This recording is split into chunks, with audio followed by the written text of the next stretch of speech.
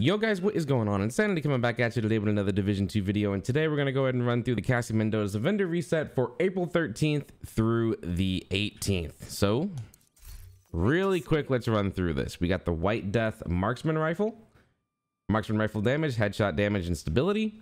The Night Watcher Gila Mask with armor, scanner pulse haste, and armor regen.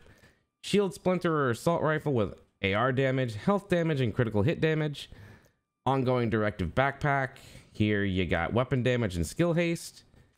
Strikers harnessed with weapon damage and headshot damage. It's actually not bad. Negotiator dilemma gloves with weapon damage and critical hit chance. Ongoing directive knee pads with weapon damage and headshot damage. Strikers holster with again all damage, weapon damage, and headshot damage. True Patriot mask with this thing is all the way down here armor and weapon handling uh acr fully maxed out health damage um Airaldi Holdings gloves, maxed out critical hit chance, and skill duration mod.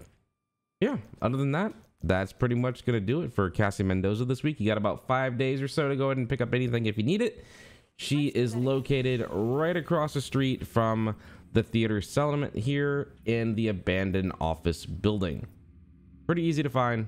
She closes in 18 hours from the time of me making this video, and she opens up every so often over the next couple of days. Be sure to go ahead and like if you haven't, sub if you're new, and look out for more Division 2 content coming your way very, very soon. Have a good one.